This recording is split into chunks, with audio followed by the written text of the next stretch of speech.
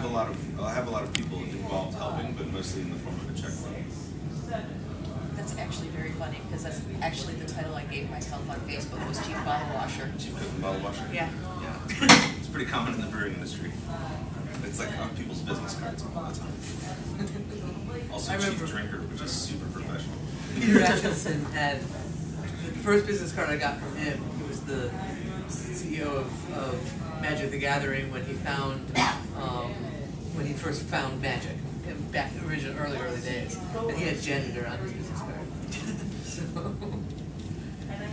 Can I give that piece of advice? Like funny business cards are really cute, but like anytime you're actually trying to get business done and you have something stupid in your business card, man, it makes it really difficult. Like I see people in the brewing industry all the time because you can like all of a sudden you can make your own title and you're so cool, right? You're like, oh, I'm an evil genius. I'm like, know, chief drinker happens a lot, which is super unprofessional, and, and you see this in business in meetings where people will hand out their card and you can watch vendors who you're trying to buy like a multi ten thousand dollar piece of equipment from immediately discard you as a rational person uh, because they look at your business card and they're like, oh yeah, you're you're the queen of devices in this company, right? Sure.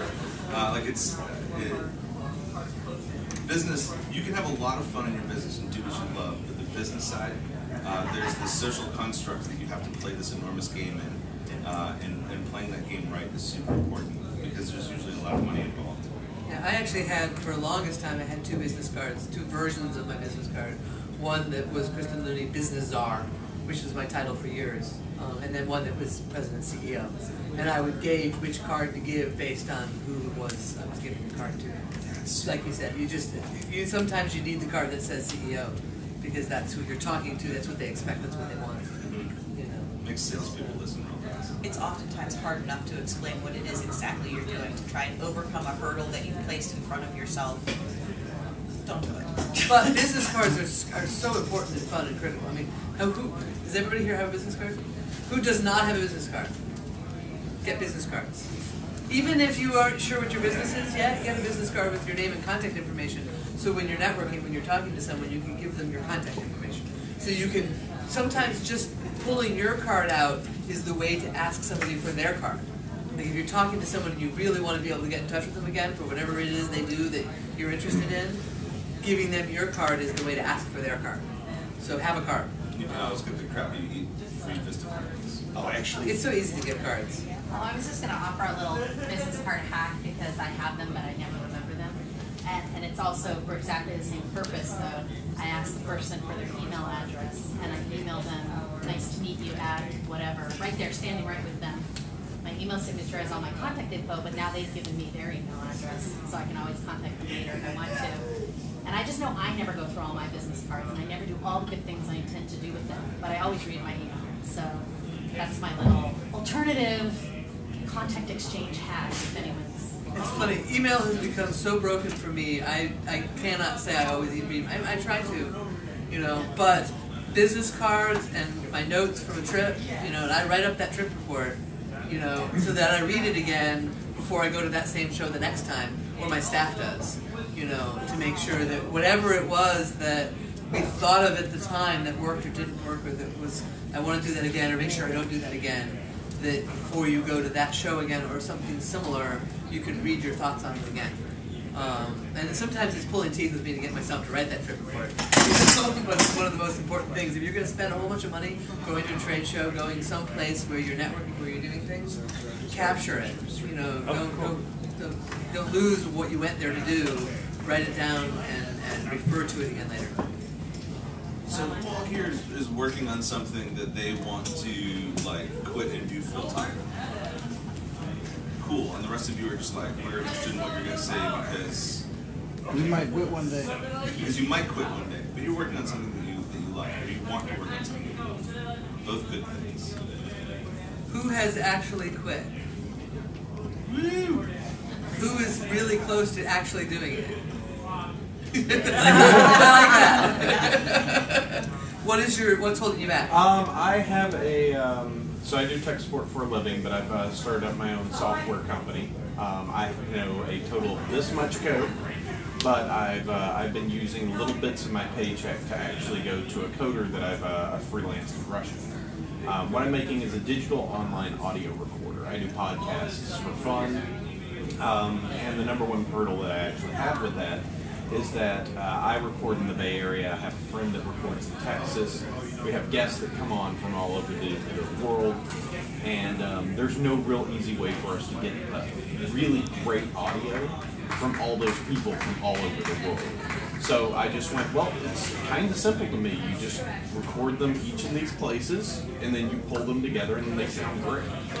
But I looked for two years and went, nobody's doing this. And you just steal this idea now. Yeah. So no, seriously, can you got a time machine? Can I go forward and get whatever you're about to make? Because I need want, now. like, and this is the thing. I, I was yeah, like, we're doing a podcast, and I need what you want to make. Yeah, it, it was one of those So- things of like, I want this, I want this so bad, and it's like, nobody's doing it. Fine, I'll do it. I'll go ahead and do it. I've got the idea. I know you put the pieces together here. I'm not smart enough to build it myself, but I'm gonna go ahead and just get everything in line that I need You're gonna find the people that do. Hey, anybody out there who has an idea for detecting when the thread is out on a sewing machine? I'll pay for that to be built. Yeah, Like the bobbin thread? Yes. yeah, I need, I need a light engineer of some sort that will. What I've done is I wind two bobbins and I use one on the top and one on the bobbin and they run about the same time. So you can Um, tell when you're running low. Industrial machines. That's an excellent idea if you're not sewing four hundred pieces in a day. Yeah. Good luck. It, it used to take me uh, an hour and a half to make one of these hats, and now I've got it down to about 20 minutes. So yeah, when you're just cranking stuff through and you're, you get the groove on a machine, that would be great. Sorry, just trying to No, no, my own stuff. I need stuff too. But it's a good idea. So, Yeah, that's an This- excellent idea. This actually, what you said just made me think of something in that uh, making 500 pieces in a day or whatever 400 pieces in a day is is it a neat thing to think about because when you're when you are breaking off and starting your own thing, you really have to think about uh, how much can I actually make and what am I actually going to do to support myself. Because the the, real challenge of quitting is that you still need to eat and like pay rent and stuff like that, right? That that becomes all of a sudden a, a huge challenge when you don't have a paycheck. Uh, and when you have a job, especially I came from, like I came from IT, I was doing very well with capital letters, um, doing IT, and then going down to uh, I'll tell you my salary. I make twenty thousand dollars a year right now. It's awesome. Uh, uh, that is a huge pay cut, and I just recently started making that for the first time in five years. So um, you have to get to this point where you say to yourself, okay, uh, I want to make thing X. I want to make widgets, and you have to think about how many widgets do I need to make to support myself, like for real, actually support myself, be able to eat every week and pay rent and make people happy and the people in my life and everything like that. Now, can I physically actually make enough of those widgets in order to survive, or do I outsource and make have somebody else make widgets and what's the cost of that and how do I actually make money off of it in order to survive and da, da, da. But there's all of those lovely layers, and that comes into lovely places like uh, employees and things like that, because then you have to be able to pay for their livelihood too. Employees are the most expensive thing you can get. They suck. Just- They suck and they are They're most awesome though. worthwhile They're awesome. They're you could ever so do. awesome. It's so amazing what you can get done when you have um, employees helping you do it. But But yeah, early on, I fought against it. I used to say, I'm never getting employees. Wow, really? Look at me now. I had I had employees before I opened. yeah. Oh, yeah. Really? Yeah. Because, I mean, from, from my perspective, you need more than one person to run a brewery, so there's that. Yeah. Uh, and I didn't want any of my investors in there because they're no idea what they're doing. Uh, but uh, yeah, I've had I've had employees since day one, so, which is all the much more terrifying. You have to pay for their their food and subsistence as well. They get paid a lot better than I do. Yes. All my employees get paid. for it. Can you guys talk more about the networking, because I think, I can tell just from the little bit of talking that you've done up here, that that's what you guys are all good at, that I think is a big piece of the success is, like you put out right now, I need this thing that, that fixes mom and problems, you know, and, and. In, in being a small business owner, you have to be a narcissist. You gotta like talking about yourself. You have to- Yeah, a little bit. and like, And and, and you me because- what you're doing, is maybe somebody in this room is gonna be coming up to you afterwards to say, hey, I got some ideas about that, because you're safe, you know, and just. You have, you have to spread your ideas out, you have to get them out there so people will listen to them, talk about them. So If you're not putting it out there in the universe, it's not gonna happen. and get people excited about them. Yeah. you, that should, someone mentioned passion, I think, originally. You need to have so much passion for what you're doing and the ability to get those people around you passionate about it with you. Um, and wanting to help you, wanting to be part of it, and wanting to, you know, either just buy your product if it's a product you're making, or listen to your music, or, you know, whatever it is you're doing, um, you need fans. Um, building a fan base, you know, is a huge part of, of all of it. It's sort of it's sort of sales without a sales pitch. It's it's the passion side. You got to be able to talk about what you're doing in a way that makes other people excited, but not in a way that makes them feel like you're trying to sell them something. Because because everybody's bullshit meter goes up at some point, right? Where you're like, oh yeah, okay, this person's just trying to get off. Well, of course, we're in business. We're trying to make money, right? This is Yeah. what at the end of the day, it's what it's all about. But uh, a lot of the the passion level, especially from the ownership, has to come off in a way that isn't a like skeezy sales pitch, and that's where the passion really comes in. So you said it took you five years to perfect your, your product, get all your vendors together to the point where you're able to pay yourself out a little something. Oh, so I started five years ago. We opened three years ago. Actually, the cruise always coincides with our anniversary. So two which is years super awkward. two years of pre pre launch development of About a your year of and a your half, yeah, ales. two years. Um, and now after so after three years of being on market, some some musicians right now can get right onto market or at least Right. start playing shows. Um, five so let's say yeah, three to five years took you. When did you guys start to be able to uh, you know recoup on some of your investment or say okay this is working? When was that? I gotta. I gotta say, five years rings pretty true from the point Yeah. where we, we made the decision and took the leap to where we were getting results and we were uh, sustainable and we were be able to hire people and I was no longer selling off my vehicles to make payroll. Yeah. Right. Um, and I think each of us walked into this from a different place in our lives. So you had investors and some money that walked into it with you. Um, Yeah, I, I had a ten-year career working at NASA um, as a designing ground systems and stuff. Uh, that's where I met Andy. Um, he was writing code in fluid space. So we, out of college, we both worked at NASA for a long time, and we had you know platinum credit cards, and we were you know we had no kids and two engineer salaries. You know, I was making like I think eighty-three thousand dollars a year when I quit. 16 years ago. So, and I haven't come close to that yet. But I have, in terms of, not in a paycheck, but my, my, my CFO and my accountant are always trying to figure out ways to get us money out of the company that doesn't go through payroll. Um, because it's just, then you don't pay all the payroll taxes and that kind of stuff. So it's hard to say what I'm really making. Um, you know, I'm making enough. And that's the thing, all through it all, I've pulled enough out of the company to pay my bills and to do what I'm doing.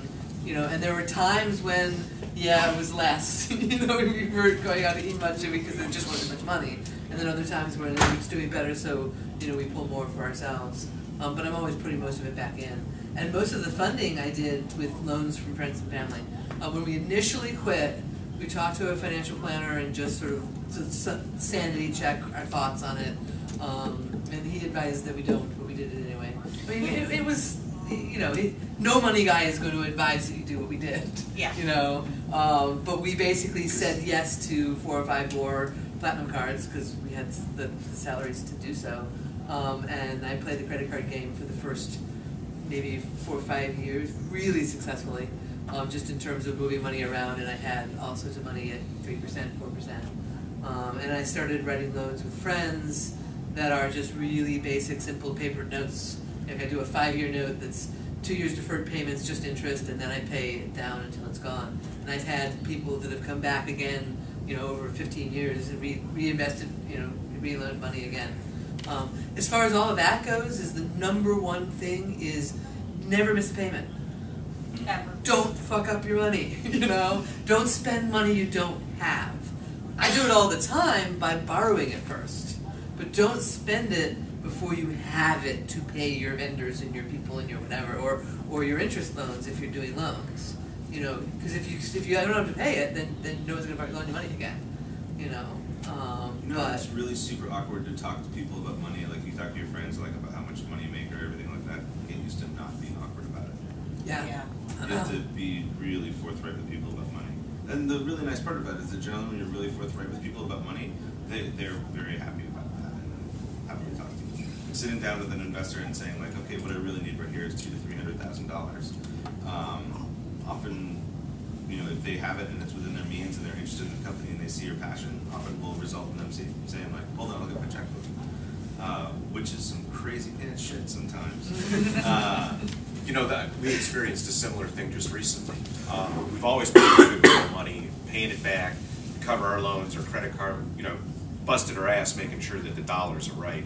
And I was looking at a small piece of equipment. I went into my local bank where I have an account and I'm like, hey, I, I want to borrow, you know, I- I would like to borrow ten thousand dollars. And he looks at me and he says, what you really need is a fifty thousand dollar credit line. And to, to have my bank come back and show that mm-hmm. kind of confidence in me was, That's awesome. wow, that, that felt better than anything I, you know, that was awesome. It's That always was nice to awesome. have banks come back with, you for, with bigger numbers than small. Yes, Right. it's fantastic. Because you do, you spend so much time being careful and making sure that everything is covered. But, But you need to, because if you, if you, if you wanna spend that ten thousand dollars, don't buy the piece of equipment and hope you can make the payments.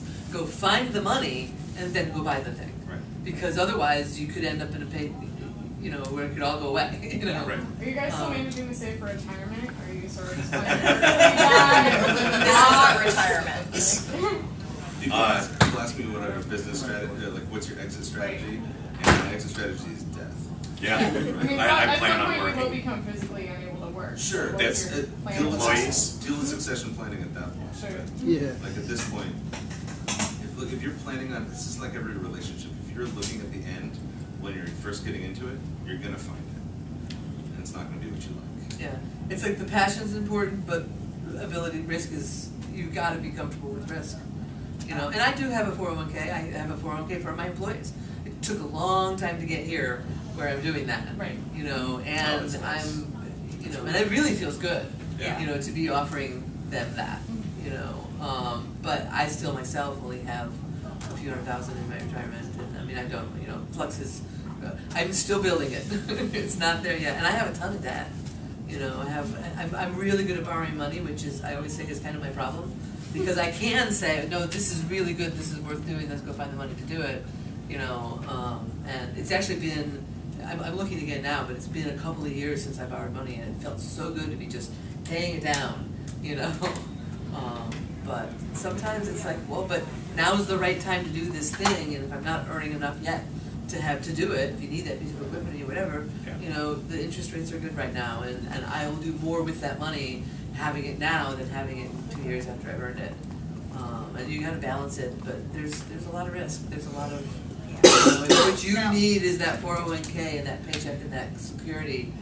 Quitting's probably not for you. Eric has a question. What do you think your biggest mistake was? Ooh, wow. Are you allowed to ask questions? Well, I'm just, I'm just, I'm Um, about what do you think your biggest mistake Yeah. was? Nice question. Wow, I've made a bunch, I don't, let me think about that. it's a tough one, isn't it? It is. Just like out of all the mistakes, which I one's the think- biggest? Yeah, I know. You know, I- this isn't my biggest mistake, and I don't even know. The, there's so many with the pyramids. There's so much. I've been trying to sell those pyramids forever. You all have pyramids. Did you play them? They're No. awesome Yes. games. Not yet. Yeah. Awesome, awesome games. Play them. Um, the reason I gave away so many pyramids is because a year and a half from now, we're gonna do a big Kickstarter, a big box set of like everything you need to play, a whole bunch of stuff, all in one big box. And everything I gave away is gonna be old, brand new, not quite trash, but I wish I would not have it then. So I was giving away now to get you guys excited and interested in knowing about them, so that when I do that Kickstarter later, um, I don't have all that old stock. you know, that is now obsolete in the old branding. So we're, we're doing all, you know, we're doing all the branding. So, um, but one thing I do regret is the Ice Dice in that the, the, the triangular bag that I gave you. Um, I it was actually my buyer from PSI, who's the people that got me into Target and Barnes and Noble and all those places. And it was when Bananagrams was just like freaking hot, like Bananagrams was going crazy everywhere. And the main guy at that distributor said, "Hey, can you do something in a zipper pouch?" Um, and I did, and it's cool. It is, that was, that was It's one of the things I really really liked cool, about it. but it doesn't sell. Yeah. You know, it doesn't sell, and I think it would have done much better in the two-part box that we we were planning originally to put Ice Dice in a double wide of our two-part box, so three of them would fit in the display box that we do. Mhm. I wish we'd done that instead instead of that stupid pouch. So, anyway, but the pouch is gorgeous and I love it, but it doesn't Yep. sell. It's that balance between what, what, and, and this is a struggle I have all the time. I don't know how many of you have met my husband Andy, he's not on the boat this year, but he doesn't actually really care about money. Um, he doesn't. He, he, there's so many things that are more important to him than what it's going to sell and how much we're going to make off of it. And it's actually a huge struggle for me because I need to be making money because I got employees to feed and debt to pay and things to do and decisions so often are, you know, the right business decision isn't the correct what we want to do decision. And that's a hard thing. Yeah. So he's more interested in playing a good game of pyramids than making some money. He's more interested in, um, he wants the, the passion for um, printing domestically. I'm behind it. I love it. I'm really glad we print our stuff in the U.S. It's a lot more expensive. And there's pros and cons. There's some things that are way better about. I mean, I can turn product around in three or four weeks if I get a run on something. Whereas all those games that you can't buy that are popular because they're waiting four months for more product to come from China. But you're You doing know. the right thing. I am. We do the right thing all the time in various different ways. Um, my question is, when you start to do something new, like you guys are all doing, uh, you, you're saying be really careful with money. That's your big advice, right? But I mean, you do obviously, I think, stand there ready to embrace failure and learn from it. Can you each talk about that concept a little bit? Risk management. That, Yeah, be really What it careful is. with money. Isn't quite good. that, uh, to answer his question and yours simultaneously, um, every single mistake that I think I've made in my past has to do with something that I didn't do rather than something that I did do. A, a thing that I saw on the horizon that I'm like, that's gonna be big, and I let myself talk myself out of it, or I talked to too many people and they talked me out of it. Sure. Um, trusting your instincts once you've developed them. Uh, and then the flip side of that is, is that I also came from a completely different place than these guys did. I was not in a financially secure place at all. Even my husband, he was in a far more financially secure place than I was when I decided to just jump off that cliff. I had no choice. I jumped off the cliff because the cliff was the only option. And That's a great way to do it in the grand scheme. Uh, and, and I say that because if you, you know, starting financial secure gets you in this really wonderful place where you're used to having money and going out to eat and doing things that you Mhm. find luxurious, and when you don't have any money, Sometimes you have to Uh, give those up. yeah, and, and you and that's and that can it can feel really hard, even though you're just doing things like I'm gonna eat at home instead of go out to a bar or whatever. And that, but you know they seem like simple things, and you can say off the top of your head, oh whatever, that's easy. I, I cook at home all the time. But when you're forced to, it's really different. Uh, and when you start from a place where you're kind of forced to succeed, which actually after you even from a financially secure position, you're going to get to that Yeah, point do. where you're forced to succeed, or you're like you know living out of the back of your car. Um, it's a it's a much different proposition. I think starting there is in, in a way a very romantic benefit. Yeah. If you're starting from a place of financial security, how do you make the, the decision to switch from, from being there to taking something that's a hobby or something you're passionate about as a side job and quitting and pursuing that full time? So that I think is the thing that that, that is the uh, you just have to do it sort of portion in, in which everybody you know like in the past I've been this is my fourth year on this cruise and th- this used to happen in the performer Q and A and you know where they were talking about like taking the plunge into you know doing music full time or whatever. And I think that there's a certain point where you can really just lull yourself into a sense of security when, when you're finished secure saying like, well I have this paycheck so I'm just gonna keep on going with it because getting paid is great. Uh, and on some level, it's just a matter of when you feel personally comfortable. Okay, I'm now going to quit and do this thing that I love instead. But it, it really does. I think, like I said really, you have to be great. You have to know you're great. And you have to be able to have something in mind and know where it's going and everything like that, and then take that. But uh, to give you an idea, when I quit, uh, well, my main reason for quitting is that I really hated my job. Uh, if, if my job was great, I probably wouldn't be making beer right now, but I really wasn't. And so, okay, let's go do this. Uh, and I quit full on thinking that I was going to have a operating brewery within months, and it was uh, almost two years. Uh, so you got to be ready for that kind of stuff. Um, and there was nothing in that decision factored into that aside from this is And sometimes that is the right time. It's just if you're just done with where you are, Yeah. and you're like, I'll figure it out, make work, you know. When my wife and I got married, um, I was I was the financial backer for her business, and in doing so, I got involved with it. I, I never knew anything about leatherworking ten years ago. Um, it, it- you do you make a leap. Sometimes you find that you're really good at something that you never expected, and it just comes out of the blue. And sometimes it could be a question of what's the right time for the thing you want to do. What What is your passion that you would like to quit for? I don't really have one right now. I'm just interested in hearing all this. Okay. His car's paid off, so you can totally live out of it. And we have done that, lived out of a van for a full year with a five-year-old.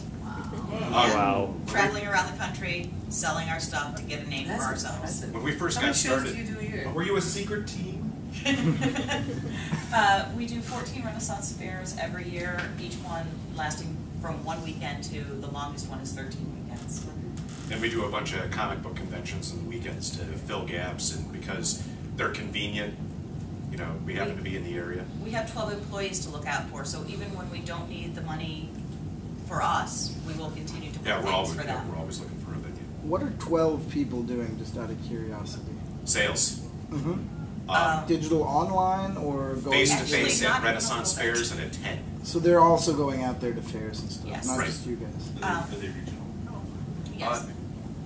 Uh, Um, can I speak to that one? Go ahead. Uh, we have at home three employees that work in the leather shop making stuff, one employee that works in the sewing shop sewing with me. We are hands-on every day, every piece that you purchase from us, we physically have had a part in creating. So we don't have to wait for stuff to show up from China most of the time, so that's awesome. We turn around really fast. Yep. Today I want this and I'm going to go make it.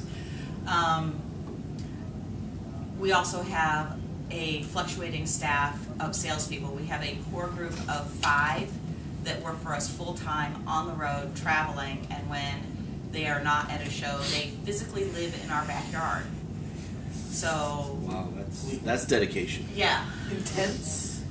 Campers. Campers, tents. Um, we have a couple barns that we've converted the upstairs portions We have- into little apartments. We have three acres of land. We live in a rural area. My neighbors have horses. My, you know, it's not a big deal to load a bunch of campers in the backyard. Nobody even notices. And that's sometimes what you do when you quit is you move out in the middle of nowhere where it's really cheap to live. I don't know where you lived before, but I've had other friends that, that moved, you know, they were living in DC, you know, in the house that they inherited from their family and they sold it for over a million dollars and moved to the middle of nowhere and now they have all this money to live on, you know. And I would say that that would be something that you should explore almost immediately upon deciding that you are going to quit is what things can I get rid of in my life and still be happy? I don't need Starbucks coffee anymore. I know how to make coffee. The button goes like this. Um, I don't need to live in the poshest place in town in a townhouse because I need a manufacturing facility and I can build that in my backyard and save myself a ton of money you always have to be thinking about how can I save myself a ton of money because I'm going to need that money that I'm saving. Yeah, it's like you said, the, the message was be careful with your money, and it's true, but what one person thinks careful with your money means, and what we mean by be careful, we spend money like crazy. We, Right, we, we right. use it, use Oh it up, God, and it's- it's have to go get more, and, and so the, the flow of money is amazing. I made $1.65 million last year. Profit wise, I think I lost about 40000 You know, it's just because I have eight employees and I have, you know, a rent and I have, you know, manufacturing. You'll and it's become sick so much money. stuff. And thank you for saying those. Tax wise and real money wise are completely different things. There are It's true. enormous amounts of deductions for small business owners, especially sole proprietorships and limited liability corporations, um, that really make it so that you can live well. I paid for this cruise. I'm here, you know? Um, and if, if I were to say to you that on my tax paperwork, my husband and I's combined income last year was twenty-four thousand dollars. That's tax paperwork. But you made a lot more money than that. We made a saying? lot So- more money yeah. than that. I, I think just- mine was, was more like like eleven or something, or twenty something, because, but that was because they switched it around, my accountants paid out a whole bunch of old royalties that were on the books to Andy as the way we got our money this year, because I switched accountants and a previous accountant had done something wrong and it was easier to just, like, pay it all off. Yes. Rather than leave it up, rather than going and opening an old tax periods, let's just pay it all out so that now it's right. So if anybody ever looks at it, well, it's all paid, so who cares? And You know, it's just. And I think we just hit on another very important point is if you are not extraordinarily good with numbers, like you you are a numbers nerd from the Nothing to do get with go. Numbers. Yes, Hire an accountant. okay, Right, Yeah. hire, hire an accountant. hire an accountant. If your previous life wasn't as in accounting, hire an accountant. Right. And, and make exactly. them, make them explain everything that's going on with your money. Don't just assume that, so, you know, it starts here and ends up here and magic happens in the middle. Find out what that magic Yeah, is. you need to Make them understand it, but don't explain do it yourself. But it's more than just knowing the numbers, it's also knowing the tax code and knowing, you know, what is the latest law that was passed by uh, Congress that it affects your business and, you know, energy savings and all of these different things that you shouldn't care about because you're making widgets. But there's like an R and D credit that's that's out there Right. that There's all kinds of basically, stuff that you but they also want to keep paying Andy a higher salary and me a lower salary because his job is R and D because he develops the games. So for all of his money, I can we can personally take that tax credit. You know, but then if my salary is really low, then the disability insurance is kind of useless. So it's all this balancing act of, you know, what makes sense. You So- want somebody else to be spending hours and hours a week on that. No, you, you, you went like this. No, no, You I'm can popping my shoulder. Oh man, I just thought it was like an, an audience question. What? I'd love one of those. Well, my interest is more on the brewing side, actually. So I, I would be very interested if you could talk a little bit about your, your initial fundraising for your setting up, such as it was. So we are the very first brewery to um, uh, fund a Kickstarter project to open. We're the very first Kickstarter funded brewery to open our doors. Uh, so uh, I started with a Kickstarter project for a measly forty thousand dollars, none of this five million exploding kitten bullshit. Hey, hey, hey, hey, after they pay costs, we're all gonna take home like four point nine million. I hope they realize that it's personal income on Kickstarter and they are getting audited. There's no way that they are not getting audited by the Oh, yeah. IRS next year. It is, it, it lands on your personal income statement, it is personal. That's a, is like advertising? Or a No, grant? it's income. It's income. It's income, have thirty it's tax on it. legitimate, honest, honest goodness. You are doing sales, that's what Kickstarter is, you're doing, it's pre-sales, it's basically it. No matter what you're actually giving as a prize, it's sales. Kickstarter is an amazing thing, beast, but it's a beast. You could you could lose so much so easily if you do it wrong. It's a scary thing. It's an exciting thing. It was it's a great dumb. thing, but it's It was super dumb. It was super dumb. The, the, I was the doing it in a heartbeat. yeah. But it was, it was like so. Uh, I was so forty thousand dollar Kickstarter. I thought this was going to be this fantastic amount of money, uh, and we overshot our goal by four by you know, four thousand dollars. It was really great. And this is like the third month Kickstarter existed, so it was a long time ago. And uh, and what I realized very swiftly afterwards is that okay, I got forty four thousand dollars. I got thirty six thousand dollars out of all that, and then I spent three solid months designing, ordering. Uh, uh, prizes and mailing things out, and the post office hated me. Like every time I would show up with these boxes and boxes of things, like the the, the, the postmaster would just be like, "No, we close at five. Come back then. We'll figure it out. You are not standing in line with all of that shit." uh, And instead of starting the brewery, he's spending three months Exactly. making at the post office. making T-shirts and pins and whatever bottle the reward things were the- for people. I'm you know. still giving out Kickstarter prizes five years later. Right? Because there, because I, I dug my own grave on it and did things like you're gonna get this forever, forever. Never use the words forever. uh, and they're great, and they're. The, the, here's the really nice part about Kickstarter, just as a little tangent here, is that uh, it builds a, a really wonderful community around your business, and it's something that I. The reason I would say I say I'd do it again in heartbeat is that it, it has built this wonderful community around the brewery of people who honestly feel ownership towards towards the brewery because they helped start it, even though they have literally zero ownership in the brewery. Uh, you will see guys come in on tours again and again and again with their friends being like, "Yeah, this is me, man. I did this," and it's so super cool because those guys. But, uh, but they are back every time. They're buying the, latest beer. They're they're bringing their buddies in. They feel this ownership because they gave twenty bucks and got a T-shirt, and it's phenomenal. Yeah, it's Uh, amazing They're, they're my best customers. They're the people I appreciate them so much. They're the people when we have something new coming out, I will personally email them and be like, "Hey, I know you. I know you're gonna love this. Please come have a pint." And that just builds that community back in again. And so that's what business is about relationships, right? It's about personal relationships with people who love what you do as much as you do, and that's the really Kickstarter really helps facilitate that. What was I actually answering? You were, Right. you were going to explain how that was actually a drop in the bucket, I think is where you're going. Yeah, so for forty-four thousand dollars, and I ended up starting with a half million, so like six percent of the overall cost of startup. I bought over forty thousand dollars in kegs, right? Like this is like nothing. My brew house cost seventy-five.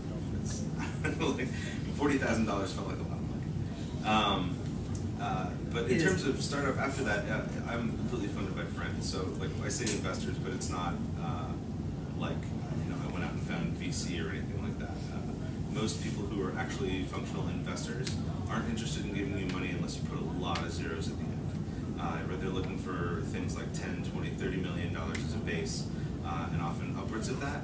And when you have those people involved, they're also interested in making a lot of money back very quickly. So they're looking for uh, basically, uh, uh, what's the nice, I've heard a bunch of nice terms of this, like pump and dump and stuff like this, where they want to put a huge uh, portion of cash in, see a skyrocketing business that can then be turned around and sold. So They need an their exit strategy, Exit strategies yeah. right up at the front. Um, whereas, I think for, I mean, I think I can speak for all of us, where we're looking for a sustainable business. Yeah, I wanna grow Because we're old doing this, you Right, know? because we're doing what we love. Um, so my investors are all friends from college, uh, people who had done uh, well enough in their careers that had some money set aside uh, and liked beer enough that they were willing to put all of that money into me, and then hopefully someday, someday, we pay back on it. Uh, so there's that. So, I had a question specifically for you. I don't know if you heard, but um, InBev recently bought out Elysian in Seattle, Uh huh. And you were talking about venture capitalism. And after the firestorm, I have very strong feelings about this. right? But I I read in kind of an article interview with the one of the three that opposed it, but he was Dick Cantwell, who got who got outvoted. Right, Yeah. but he he had a lot of interesting points of they were at that tipping point of looking for those big venture capitalists, venture capital investments that you're talking about, but those people also wanted to pump and dump. Whereas a brewery, something like that, you don't really have that opportunity to have that quick turnaround, and then someone like InBev just can walk in and say, "Well, here are all the zeros you've ever dreamed about."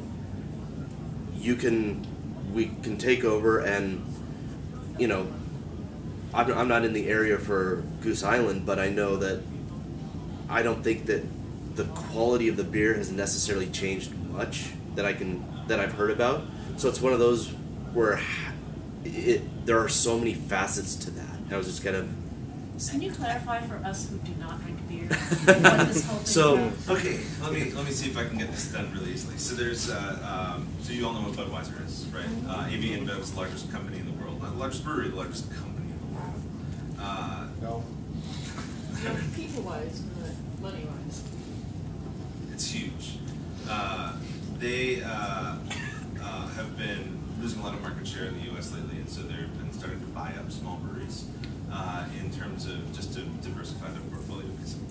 And what they've been doing is buying up what from a brewery, but my size perspective is a very large craft brewery. like the, the, the local giant right, Goose Island out of Chicago. They just bought Blue Point in Long Island. Uh, elysian's the pretty much the the the major brewery in the seattle area which is a huge Ten barrel too. So ten barrel. oh yeah they just did the 10 barrel as well uh, up in uh, up in the Pacific Northwest. So, uh, from the craft beer perspective, uh, uh, a lot of drinkers get very upset about that because their favorite beer is now owned by this international conglomerate. The beer's going to taste like shit. and all this. Uh, and from a business perspective, it's a very very different animal in which they are given the opportunity to grow very swiftly within a business structure that already fits their existing business structure, right? Like having a brewery buy a brewery isn't so bad as having like a tech mogul buy a brewery in which he has no idea what they're doing. They just want an investment back out of it. So a, it's a very complex situation, uh, and um, uh, my feeling on it is incredibly complicated and would probably take up panel, if I really got into it. Uh, but I'll say this: I would have done the same thing, right? Uh, and so everybody's got a price, and if somebody came to me and said, "Hey, here's 300 million for your brewery," I'd be like, "Bye." and it's just at some point you, you do what's best. At some point, you do what's best for you, and you can sit, here, sit, sit there and say, "Okay, I'm going to go start another brewery on a yacht." Cool. uh, and, and integrity be damned. Um, the thing that I think is really interesting about that particular situation, which is what I will focus on, is uh, the interesting part of that, how that sale went down. Is that uh, the one of the owners of that brewery is um, uh, a huge proponent of small breweries. He wrote the book on how to start small breweries and the pipeline committee the Brewers Association. He does a, a lot of stuff to support small breweries. And I think the biggest shock around the craft industry is that that particular brewery would sell out to this huge company. Uh, and he got outvoted by his own board of directors, which I think is the really interesting part about picking up investors in a company is that if you do so, you give them decision-making power. Your And, board, uh, board of directors is supposed to do what's good for the business, not what's good for you. Exactly, and so, uh, and or what's good for its fans, right? Like at the end of the day, somebody who has put money into making this business happen is interested in making their money back. Um, and so, the, the really interesting part about the situation is that you've got a guy who has lots of integrity in the industry, lots of, you know, he loves the craft and all that good stuff, and then got outvoted because somebody else said, "Yeah, but retirement." And they're Uh, all in like their fit- late fifties, sixties. I mean, they were the pioneers of. So they're looking at succession planning anyway. But it, it really comes down to that too. Like when you have other people involved, like you guys are in a way really lucky because you are, you know, a family business, right? And, and if you're making the decision, you're making that decision together, uh, you know, as a family, and it's and it's about you guys. But you know, I've got yeah, they're great friends from college. But if I've got four people that all of a sudden say, hey, we've got this business deal, we're going to make it happen. Right now, I have decision-making power in my corporate structure, uh, and luckily, I can veto anything like that happening. But down the road, I don't know that that'll happen. You know, as we grow and I, and I lose my ownership share, does it get to a point where the business gets sold out from under me? It can happen. It's something to think about when you're when you're getting other people into your business. One of those things that you mentioned right there, just recently, um, because the amount that our business has grown, there's too much for my wife and I to handle on a normal day-to-day basis. And we've taken two of our longest-term employees and said, hey, the four of us are gonna form a board. You know, big decisions will fly past all of us, you know, but we need to, we need to spread our, out our decision-making ability. And that would be the start of our exit strategy, which is in case one of us falls down a flight of stairs kind of thing. Because seriously, I do feel this passionate about what I do. I don't anticipate there will ever be a point in my life that I'm not doing it. Um, so it will only be upon the point where somebody sticks me in a hospital bed and I have no choice, once again. One thing about boards though is they can be really awesome. So when you are, you know, getting your business, even if you're solo in your business, having a board of advisors or something like this can be super, super valuable. And a board of advisors is different than a board of directors. Yeah, directors. they're very different. Board of directors is actual like helping run the business kinds of stuff. Board of advisors is just those people that you go to for advice. Right. Um, but they're, and it, I mean, just incredibly involved. Mine is combined. Yes, uh, ours But- might have somewhere around both. But just having know. somebody from an, with an outside perspective, being able to sit down, and maybe somebody who's really good at something that you're not, that you don't necessarily want to pay, uh, is, uh, is Yeah. really great. Uh, on my board, I've got uh, uh, a logistics person from Google. I've got uh, an electrical uh, engineer. I've got, uh, um, I guess I'll call him a librarian. Uh, Information management. Thank you, information management. He says librarian all the time. Uh, and, uh, and I've got somebody who's an investment strategist at Motley Fool. So I've got a really nice diversified board that can talk to me about many different things, whether that's pipeline or, or money management or something like that. And it's, it's really great to sit down and throw stuff at them when I'm at a decision-making point and say, you know, I'm not sure what the best decision is here. I know what I want to do, but what is the actual best decision here? And I can throw stuff at them and they can give me their feedback. Regardless of whether or not they know the situation, they know enough out of other po- points of business that is actually really interesting feedback that can help inform that decision moving forward. How did, how did you attract a board of advisors? I mean, is that they just Sometimes you just ask for them. The, the company, the last company that I was in that had a board of advisors literally went to people and said, hey, we're forming a board of advisors, would you like to be on it? Uh, because they, and they went and asked people that they valued their opinion. Exactly. And I, I think that there might be a mistaken impression amongst people that board of advisors sit in a room like this with a table and fancy chairs and we all, okay, and the agenda today is we're going to do advice on this particular, no, I'm gonna go get a beer, you wanna come with me? Yeah. Let's talk about this. When you own a bar, it's even easier. Yeah. Our board of advisors usually meets, you know, just outside the barn and smokes cigarettes four times a day, so. Um, I was gonna say, right, on that topic, I'm on the board of my credit union. Uh, and one of the other things boards do, uh, and we're now large as a credit union, so it doesn't quite matter, but they're very good for networking in your community. Yeah, very good. Um, and, you know, we, as a credit union, we can support the library, we can support a lot of civic things. And in doing so, you, you find a lot of other people in the community that can then go out and find information for you, because now they're involved. My goal is to get as many people to do things for me for free as possible. Oh yeah, I love that. To make them feel like, they're- frankly, beer's almost free, so. I mean, in a sense, sometimes it's not even free, right? It's kind of, uh, It's the two of you work together, and then it's better for both of you. Yeah. Well, anytime you're negotiating anything in business, you want to try very hard to make sure that it's a win-win or a win-win-win, depending on how many people are involved. You want everyone to feel like they came out with the best, like, yeah, this is an awesome deal. We're going to do this together as, as partners, as friends, as, you know, whereas if you, there- there's some people that negotiate to the, best possible deal to the point where the other person doesn't have a good deal and they think they won, that's not a good deal because now you're not going to work well together. You know, it's like when you're negotiating, you know, royalty rates on a, on a, a game. You don't want to, you, you want to be at a place where you're giving them enough, but I'm not feeling like I'm paying too much. Because if I feel like I'm paying too much for it, I'm not going to work hard on promoting it because well, screw it, it's too expensive. You know, so you, it's it's a it's a balance um, in a negotiation to make sure that both sides are feeling like they got, yeah, this is an awesome deal. Business is about relationships. It is, but yeah, and, and I become friends with the people that I that I do business with. Um, Say it ten more times. it's just really Why don't we do it like shake it off? Business is about relationships. Business is about relationships. Business is about relationships. How many times is that? Have we Speak got? drink. Yes. Yeah, I actually I learned to drink. I never used to drink. I learned to drink about four or five years ago. Yeah. Four- and I literally, actually, specifically said to a friend of mine, we actually were on vacation in Amsterdam, and I said, I need to learn how to drink for my job.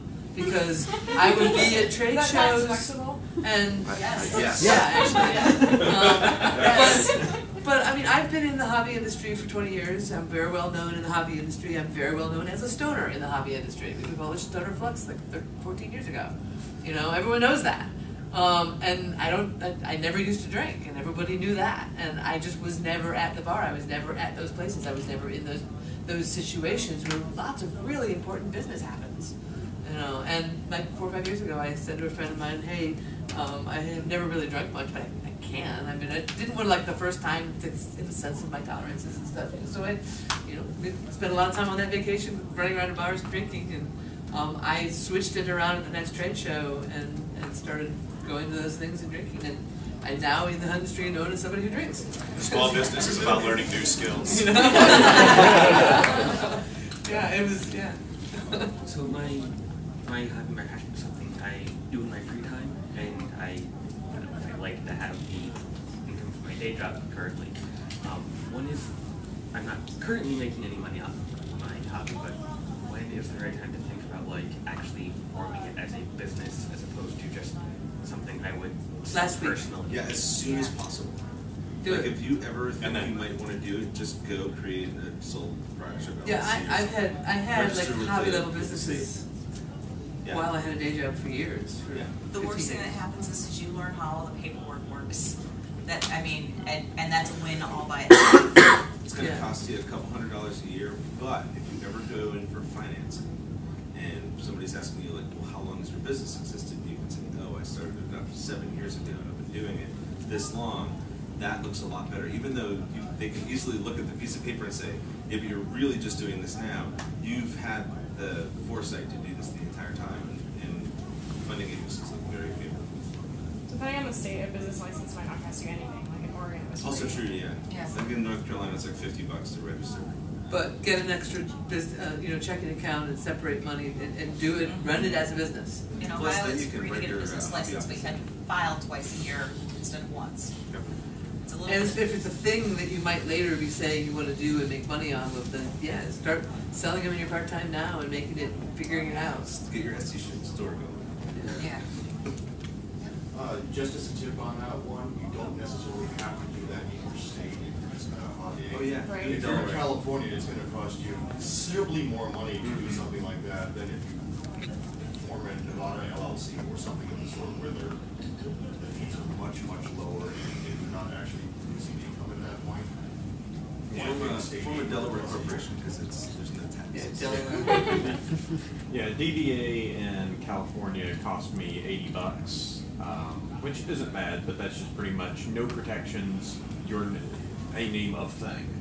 Uh, I've been, I've actually uh, completely incorporated as an S corp, even though I don't have any. I just wanted shares, pretty much, uh, and that was several thousand dollars at least three, if not four thousand dollars, just because it's just like I want the the say the the ability to say if, I, if somebody comes up and is like, "I- here's a bunch of money for shares, I can go, all right, here's your slice, you know, and I've got it divvied up into 30, 30, 30, you know.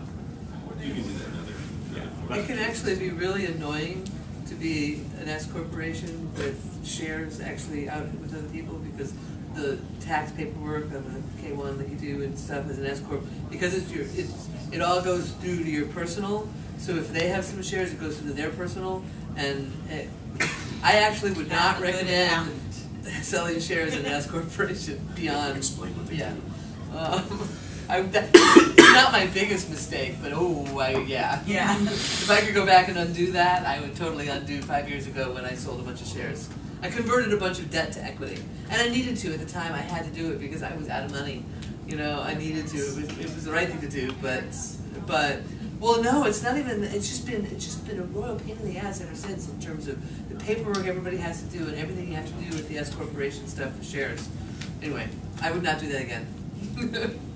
Yeah, I would also say if it's a tech idea, uh, anything where you might actually go for those kind of investors like VC investors, the whole concept of it having been around for years, meaning you're serious, they actually want like the hot thing. They're gonna say, why haven't you done anything with it in seven Yeah. years then? Yeah, that's so true. now, That's a good point. in that in that scenario, and I know you're a tech guy, so I would say think about not doing that because they want the hot, fresh guy in a hoodie who has this brand new idea.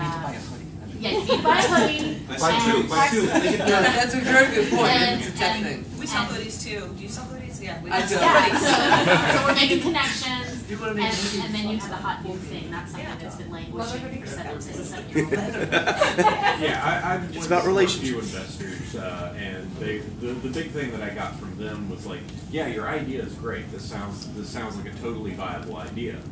But, you know, at that point, I hadn't gotten somebody to actually build it. So I was just coming to them and saying, hey, I want to build this great idea. Here's all the pieces to put together. And they're like, yeah, that's great. Go ahead and, yeah, Go do that. yeah, go do it. Go ahead and go do that. Let us Yeah. know.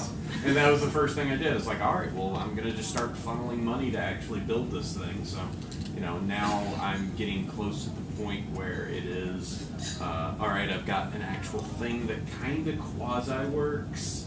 I need to bolt these things on, make it look like it's not a total piece of crap, and then you know it's the Kickstarter, you know, incubators, etc. Just going down that path. So. Um, I really want to be clear about one thing. Um, exploding kittens is a phenomenon like Mm. winning the lottery. Right. Okay. Yeah. Four times. Well, I mean, it's it's a lot of previous branding. Yeah. Right. For yeah, Mac, yeah, and that's yeah. why and that's why It's people are anomalous. Yeah, I buying don't, it. I don't get Yeah. what those guys say about how much they worked on their video and how that was really great and everything, but the reason that they got five million plus dollars on that is because of Matthew. Yeah, yeah. Yeah. Without, Yeah, yeah, yeah. without Matthew Inman, it would be a thirty thousand dollar. Yeah, I mean, they might still do. They might still make it. Yeah, but not five million. Jesus. So most people who are overnight successes, Not that I'm bitter. um, they have been plugging and plugging and plugging away at it for years, What and you then just said. yes. and then one day it hits the zeitgeist, and all of a sudden it explodes. Yeah, well, because That's what the onion, I mean, not the onion, Yeah. the, the Oatmeal, he's been plugging it away. He already was successful. He already was popular. It, it looks like it's an overnight success. It's not. Anytime you see an overnight success, it's not. Whoever, you, you only just heard about it. More people suddenly heard about it, so it seems like it's an overnight thing. But whoever did that has been working on it for decades. Yeah, you'll, Um, you'll spend a lot of time saturating the market with your information. Just contributing to forums, contributing to articles, post, you know, cross-posting things. It, it puts your name out there into, you know, just as a low-level hum, and then eventually, if you're lucky enough and you have something to, to trip it over, that can lead to a great deal of success in, in a very kind of scary way. Get really good at press releases. Pre- press is free marketing. Every, every time I can get myself into a newspaper article of any sort, I do so. Oh, right on, right on. It is absolutely the freest marketing ever because somebody is going to sit down and tell your story. It's just fantastic. And people will listen to and read it and be interested in it more than any ad would be a lot of money for. Yeah, So it's true, press is. stories is- are great.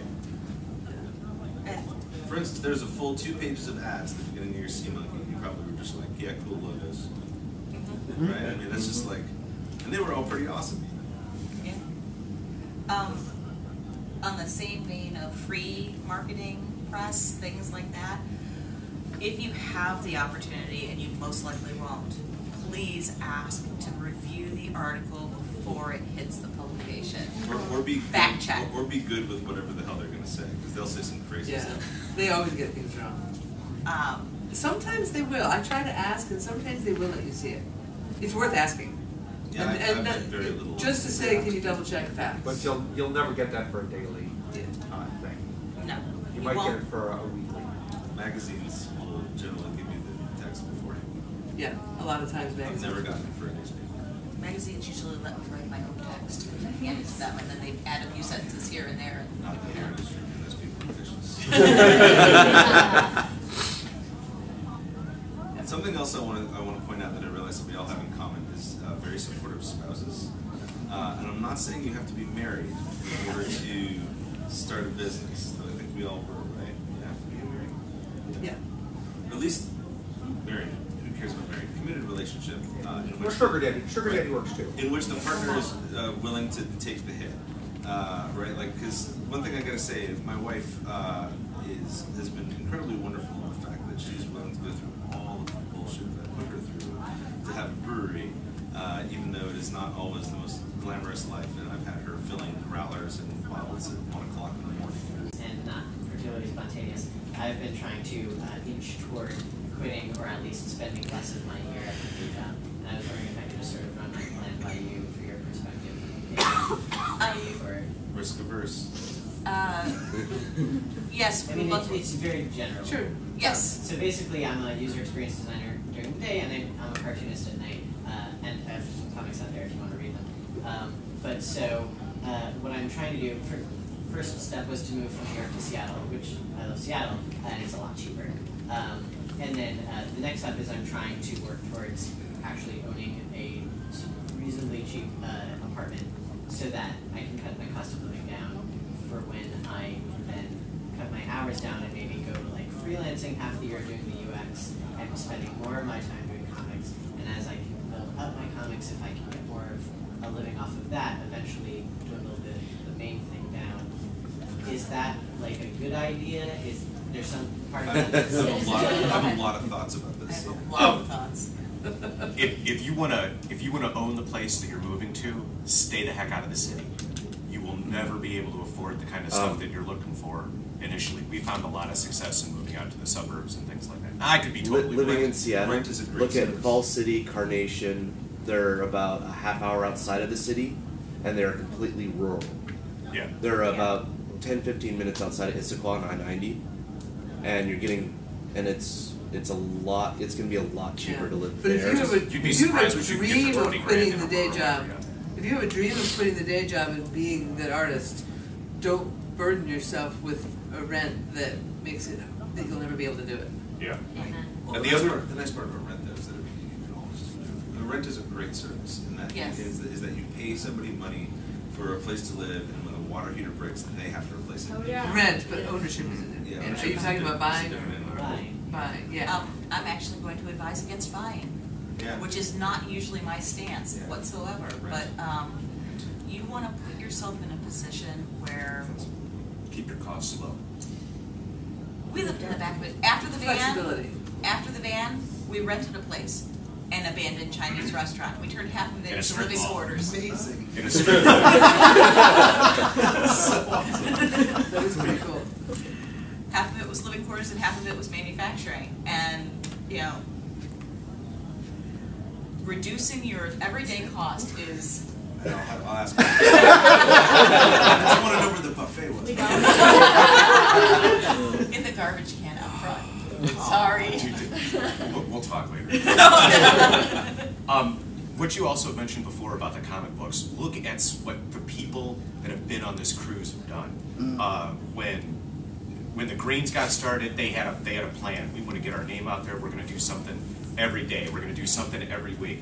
Uh, Jonathan Coulton was doing a thing a week. Um, get and just start cranking out product. Yeah, I Get- mean, I'm creating, I go to conventions, I, you know. I've Right. So you get yourself a table at a convention and you do your stuff there, Yeah, or I are you? do multiple conventions a year. I sell my comics on my Etsy. I, you know, I post my stuff to the internet. So it's like I'm, I'm doing it. And so you're at making night. some money on it. And uh, yeah, just a smidge, just a little bit.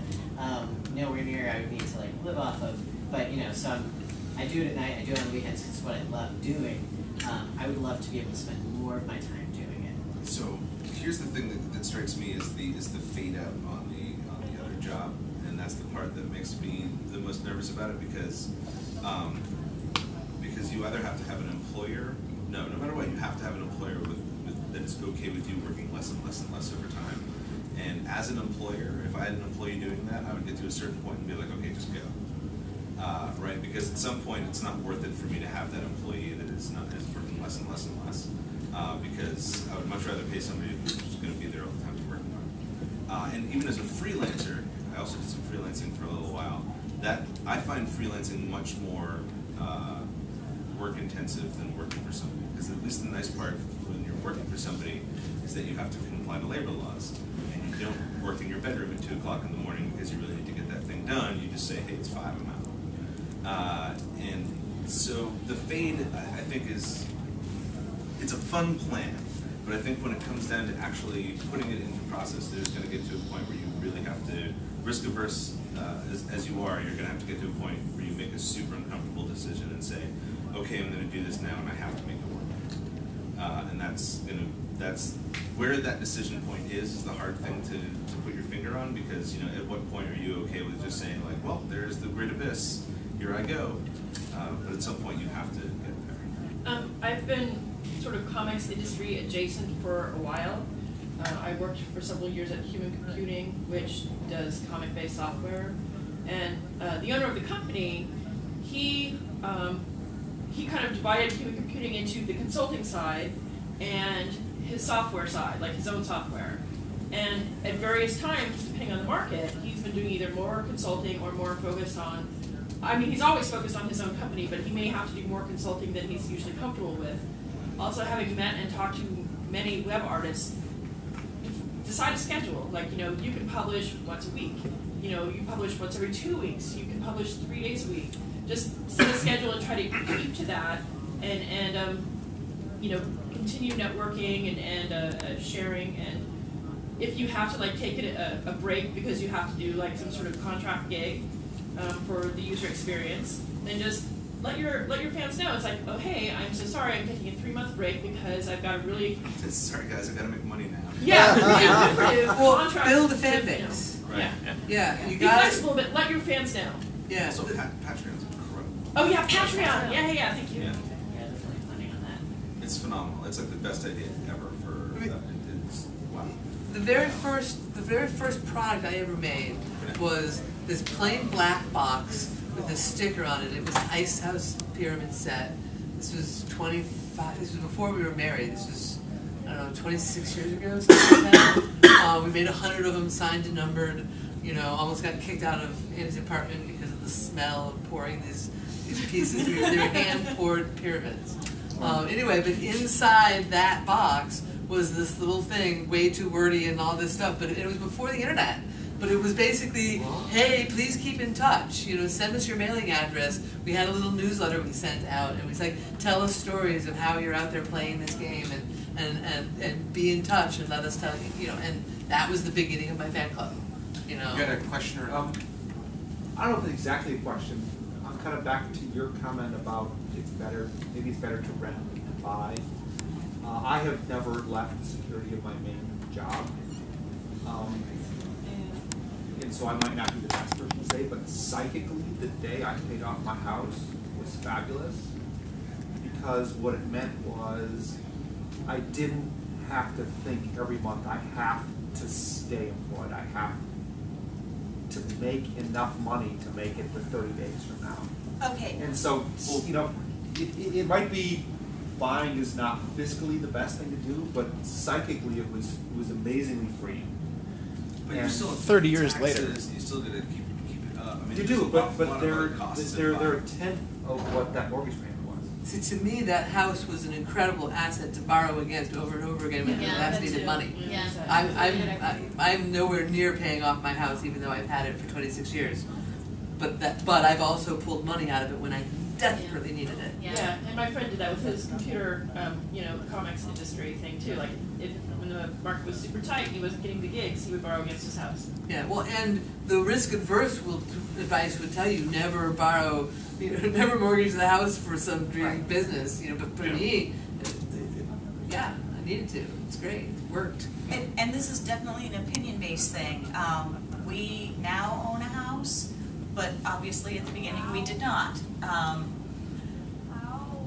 and part of that came from speaking with people that were smarter than me about money and saying, listen, in the position that you're in right now, where you're going to be moving forward with something that you're not sure how much money you're gonna make, um, maybe you should be thinking about the cheapest possible way you can live. And a house is really, really, really not the cheapest possible way you can live. You know, and you're locked into that payment for.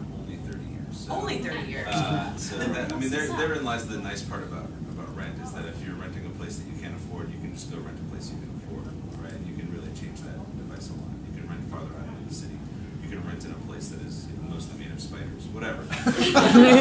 You can make that decision. Whereas if you're in a house, Spider you're den pretty much locked in. And And look, I love my house, but I've been for you know years wanting to move closer to the brewery. But now I own a business, and it really sucks to try to like sell a house while running a business uh, and traipsing about on furniture this week. So You just have to do the math for yourself, because I was like, rent, rent, rent, rent, rent forever, and then I looked at the interest rates right now and started doing the math, and I was like, oh shit, like. but they're just they're a lot of work. Well, you, you mentioned that it's not near enough the money I need to live. And the equation that I've used twice now, first when I did quit my job, I had, uh, you know, it's how much take-home pay do you have in the bank? Not gross, because you give away, half of that goes, at least in California, you know, half of that goes to taxes. So how much take-home pay do you have in the bank? And then cut that in half, because you probably spend, without thinking about it, half of what you take home unnecessarily. So you could actually, the, the four years, was it four years before we got funding and I got a salary again, you know, I lived on that money and I lived way more frugally than, and it wasn't even that painful. There's random shit you spend money for, right? So if you take your take home pay now, not your gross, your net, cut it in half, and how much of that do you have in the bank? I had two years in the bank, right? I had it then, so making the leap was like, okay, and I lasted four years on that, right? And I have it now, so where I am right now, I feel like I could walk away any moment because I have that, right? I'm, I'm free. Um, but start by slashing in half what you think you need to, to live on because probably you could do a lot more efficient living than you, you're thinking about. All right, we have twelve minutes left in the room. I just wanted to let everybody know, so if you have a question that you've been hiding inside your soul and you haven't Yeah, asked. how could we help somebody in this audience? What do you wanna know? When you're first quitting, like honestly, what do you do for health insurance? Because cancer happens, and it happens at 32 sometimes. Veteran. So, I'm a veteran. We're both veterans. Just had Oh, cancer awesome. removed this year. Um, and I, I didn't tell you why I had to jump off the cliff. The Uh-huh. reason I had to jump off that cliff was because my ten-month-old son was diagnosed with brain and kidney cancer. And we were spending two hundred and fifty out of three hundred and sixty-five days of the year in the hospital. And I couldn't have a job. And I had to have some sort of insurance and, well, hey, you know, I'm making zero dollars, now I qualify for Medicaid. And if cancer happens, you do qualify for Medicaid, just so you know, as a grown-up, you can get it. Um, that's a really scary choice to have to make. And I wouldn't recommend it, but unfortunately, it's something we're all gonna have to, your risk is something that you're going to have to get used to and shake hands with and make friends with. And if that's not your particular brand of risk, then you're gonna have to choose to take the risk someplace else. And, and, and, and to say something on risk, the first time you do it is the scariest thing in the world. The fifth time you do it, it's like putting on your shoes. And, and, and here's, and here's the other thing about risk is that risk is, is directly related to reward, right? If you don't take big risks, you don't see big rewards in the same way. Uh, so sometimes you have to take that big jump in order to get the big return, uh, and that is just a part of how it all works. You can you can luck your way into big returns without big risk, but chances are you're going to have to put something on the line. Uh, in terms of health insurance, we're I mean, solo health insurance is not terrible uh, depending on where you are and how the government has decided to deal with Obamacare and all that good stuff. But uh, up until very recently, when we just actually got a healthcare plan for all my employees, what I did was I had them get individual plans and then I reimbursed them uh, in their paycheck as an expense for their health insurance, so I could give them free health insurance. And um, the, they're actually fairly affordable. They went up a lot this past year uh, because they, there was the last chance for insurance companies to raise all the rates before uh, everything got regulated. Yeah, some of them, some of them went down a little Yeah, bit, but went most of them went up by 100%. And it's also just individual. 'cause Yeah. To do it as a business was so much more expensive. Oh, yeah. It is stupid expensive as a Stupid business. expensive to offer it. That is also We're doing another super big piece of advice I can give you is uh, delay employees for as long as humanly possible. If you can avoid them altogether, do so. Yeah, they're expensive. They're really expensive. There are a lot of hidden costs that being an employee you may not realize that your employer is paying for you. Like every dime that you personally pay into Social Security, they have to match.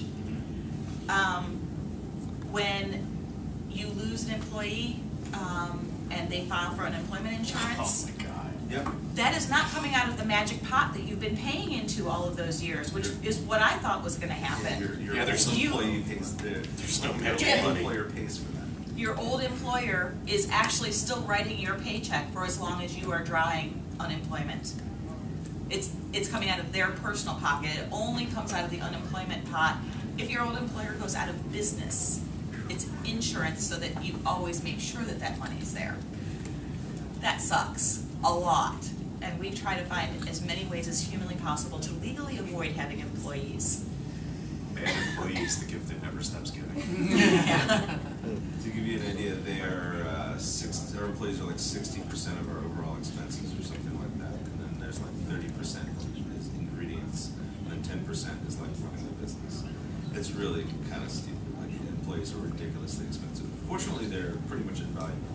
If you get good ones, they're worth their weight. yes, exactly. Uh, but it's I, I, like to talk about employees as like the best and worst part of the business because they're they're incredibly rewarding and it's and it's really wonderful to be such a big part of people's lives and to know that you're their livelihood and that you are and you're involved with their children and their families and their futures and uh, and everything like that. And I consider my job as an employer is to be sort of a service to my employees. They need to progress as they work for me and start at point A and end at point B and be better when they leave. Because I think that's what a good employer does. Yeah. But um, uh, that and that in, in itself is incredibly rewarding. At the same time, god damn, they're expensive. Holy crap. I think we touched on it earlier, but you mentioned kind of how you incorporated some of the legal aspects of whether or not you were a sole proprietorship or a limited liability corporation, um, and maybe that changes once you get employees or on the basis of the business. But can you speak to how you decided which one, which way to go? We started as an LLC, uh, mainly, uh, mainly because I knew LLCs up to that point. Uh, but uh, uh, from a getting people on as an investor standpoint, not having to deal with shares is actually pretty easy, and it's a it's a super easy tax structure. Uh, and you don't pay through K, uh, profits to K1s until you are actually fully profitable, uh, which is really nice. So, like, and they don't take losses, so your, your investors don't take personal losses on their personal taxes when the company takes losses. So With that's an S also- corporation, they do. Right. And that's Day one different. flows through. Right. And that's different from a sole proprietorship because Sole uh, proprietorship's a single member LLC. a single member. Um, So they're essentially the same. Well, uh, some- Sort of, yeah, they're a little Some- different. but- They're There are of protections that are afforded to you with an LLC that you don't get with a sole proprietorship, because essentially a sole proprietorship is you. Right. So if I had somebody sue me for more than I have insurance for, my home, my land, everything that I own. Is attached to. Is attached to that and they can have it all. Um, whereas with an LLC, there, you have one level more of protection from that. They You cannot have, take. you have limited liability. Yes. Hence the name, yeah. Yes. Do you have a question? Yeah, just a quick question. Um, so you all decided to do your own thing. Maybe you didn't enjoy having a boss so much at some point in time. Yeah. You decided, I want to work for myself. I'm tired of this. How do you go from that to being a boss? And what do you take with you from that? Do you try to be a different kind of boss than the boss that you experienced? How, um, can you tell us something about? Because I think a key part of success is being able to manage people well, and that's something that you guys have clearly done. Um, except when you're paying for their unemployment. We went Um, through a lot of employees. Yeah. do you ever, do you ever look in the mirror and, and say, "Oh my God, I'm the, the same asshole that I hated"? Yeah. Uh, like, how does that work? Or, or do you do you It try to is do something interesting else? because I, I often when I hear whenever I hear someone complaining about their manager, I ask a bunch of questions and I try to find out what is it that they hate about that manager, and then think hard about do I do that? And if I do, because sometimes I see myself in the things I hear them saying, I try to say, okay, I need to not do that. So I work hard at trying to be a good manager. I don't always Yeah. succeed. It's Yeah. not my skill set. I'm a really good leader, but a leader and a manager, they're, they're the same, but they're different, and it's Yeah. complicated. I, So- try, I try to be the boss that I always wanted, right? Like I was, I really never really got along with my bosses, so I try to think like, you know, what would I want my boss to do in this situation, and then I try to do that. Uh, but I think it's super important to listen to people and really take criticism to heart and not just say, you know, oh, whatever, they just don't understand what I'm trying to do here, but actually say, well, why, why would they think that? So let me re- add, add a little something, rephrasing it. On the road to like creative leadership in this sense, what is your winning strategy? Listen. Listen to people. Make them an active part of the discussion. Give them ownership. And I don't mean financial ownership, but ownership of, of the company that they're working with. And, and I use that word with on purpose. People do not work for me, they work with me. And we try to use that terminology and make sure that they understand that there's a, a difference in the thought process behind it. There's there's a distinction between the two. My garbage man works for me, you know, because he come and, he comes and collects the garbage and I pay them for a specific job. But the, the guys who are in my shop that we work with hand in hand every day in the creative and construction process, those guys work with me. Yeah, you don't want to say my business, you want to say our business, and, you know, we and not I. Um, And don't yeah, and don't be afraid of correcting yourself. If you're if you're like, oh, it's like my business, and it's like I, I mean the royal my. It's all of us. It's I, I try to set us up in this uh, corporate environment in which we don't have things like reviews and, and stuff like that. Uh, I try to have really active discussions with all of my employees all the time about how I'm doing. Uh, and that has really helped uh, how I sort of act all the time. Uh, of an example that I'm, I'm always really embarrassed by, and I think about it a lot, is that one of my employees came to me one day and just shut my office door and said, "Hey, I just want to let you know that every time we have a meeting, you interrupt me every time I talk." What? Right. And and I was just like, wow, I had no idea. You know, and, and I my first thought was like, no, I don't. Come on, that's that's total bullshit. I never do that. And then, but then I started thinking, but listen, right? Like, listen to what she says. So the next time we sit there in a meeting, I started thinking about every time I was about to talk, and I was like, oh wow, no, I really totally would have interrupted her. Let her finish, get her get that through, take what she said. Now let's move on. But uh, having an environment in which your employees feel good about the fact that they can come and talk to you about things like that uh, are really huge. And that it's all about listening. And, and the first step on that way to, to those things is, I did not start out saying with me. It's like, it's mine. God damn it, I've been working at this. I lived in a van at a Chinese restaurant for heaven's sakes. a Chinese restaurant. I made an active shift from I to, to, to we. I mean, Yeah. It, it, it was very much a, it was an advisor saying to me, hey, you're talking about it in I's and me's, and you need to not do that. And it took me a while to actively correct myself and change myself, and, you know. because for a long time it is just I and me. Yeah. You know, and it's when everybody goes home at the day, I am still the one stuck here.